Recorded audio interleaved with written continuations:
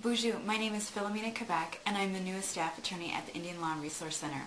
I'm going to be working in the Washington, D.C. office on international work with Armstrong, Leo, and Juanita.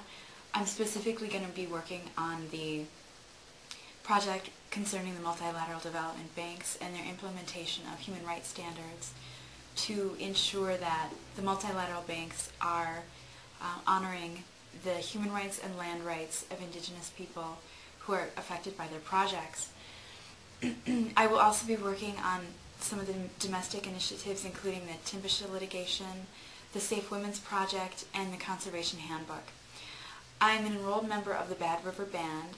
We are Anishinaabe. Our community is located on the southern shore of Lake Superior in what is now known as northern Wisconsin.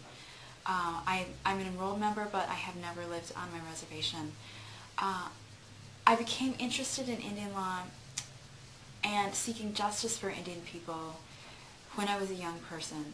I spent a lot of time with my grandparents, with my aunties and uncles. They would talk amongst themselves about the uh, the policies of the Bureau of Indian Affairs and how those policies affected the community on the ground um, during their lifetime. My my interest in seeking justice grew during the time I was in law school. I um, had several clerkships. I clerked for the Mille Lacs Band Tribal Court. I clerked for the Hennepin County Public Defender's Office, the Federal Defender's Office.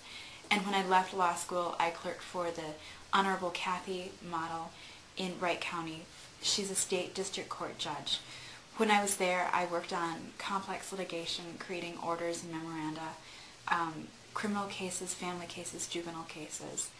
And I'm very excited to be here and to work for justice for Native people. Thank you.